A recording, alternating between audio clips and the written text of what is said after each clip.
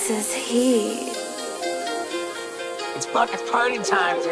Yeah.